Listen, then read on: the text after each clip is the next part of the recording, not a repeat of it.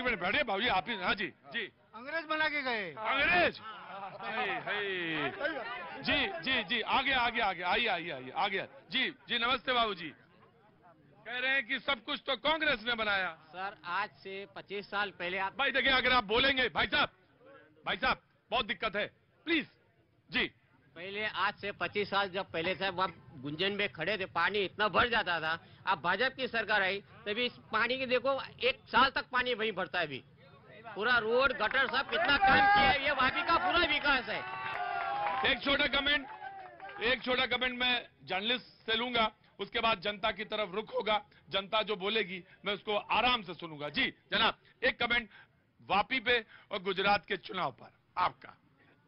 Development की रफ्तार से देखो तो ये जो लास्ट 25-30 साल में हुआ है, वो गुजरात की सिकल, सूरत सब बदल गया है। इससे पहले का गुजरात सबको याद है, बिजली खाने के टाइम बिजली नहीं मिलती थी। आठ घंटा बिजली तो दर्शन ही नहीं होती थी। लेकिन मैं सिर्फ़ न्यूट्रल बेस पर एनालिसिस करूँ तो डेवलपमेंट से लेके एक रफ्तार ऐसी पकड़ी है, और दूसरा एक है कि 1995 से भाजपा सरकार है। बराबर है?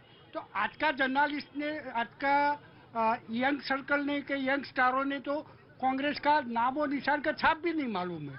वो तो पैदा हुआ तब से वो आग खोली तो भाजपा दिखा है। आग खोली तो भाजपा दिखा। चुनाव मोदी जी के फेस पर हो रहा है या मोदी जी मोदी जी के फेस पे हो रहा है चुनाव। मोदी जी मोदी मोदी मोदी।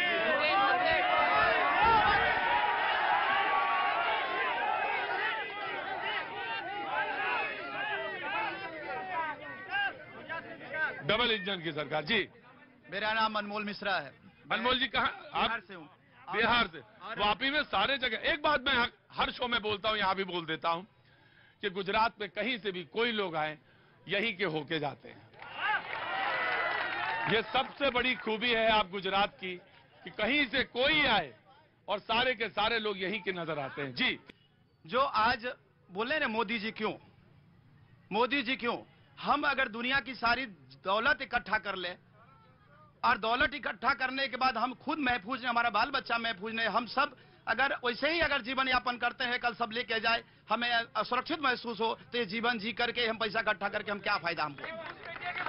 तो सर, ऐसा है, नहीं नहीं, सर, ऐसा है, मैं कोई घुसपड़िया ऐसा बहुत बोलता हूँ, इनके शासन में और गुजरात आज मैं महसूस गर्व कर रहा हमारा जन्म धरती बिहार है, लेकिन मैं कर्म फल यहाँ मेरे को मिल रहा है गुजरात में। मैं धन्यवाद इस गुजरात की धरती को करता हूँ, और साथ में नरेंद्र मोदी की जो सरकार, भाजपा की सरकार है, उनको भी धन्यवाद करता हूँ, जो मैं खुशी से रह रहा हूँ, परिवार के साथ रह रहा हूँ, सर और सुरक्षित महसूस कर रहा हूँ। अजी, ये तमाम तरह की एनालिसिस होती है चुनाव में।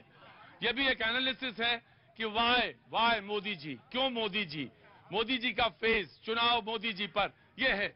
अब आप बताइए, कैसे तोड़ है, क्या तोड़ है, कैसे तोड़ है, कौन गली है, कौन मोहल्ला है, कौन जिला है, कैसे लड़ेंगे? यहाँ तो सबसे पहले मैं एक प्रश्न पूछता हूँ, यहाँ सभी उत्तर भारतीय हैं। मैं भी एक उत्तर भारत यहाँ जितने भी मौजूद हैं, सब मोदी मोदी मोदी कर रहे हैं। दस साल से यहाँ एम एमपी जो एमएलए हैं यहाँ के, वो कनुभाई देसाई हैं, माननीय श्री कनुभाई। सत्ताईस साल से सरकार है। यहाँ जो इतने बीजेपी का इतना गुण गा रहे हैं ना कितने लोग को सरकारी नौकरियाँ और कितने लोग को रोज़गार दिया बताइए।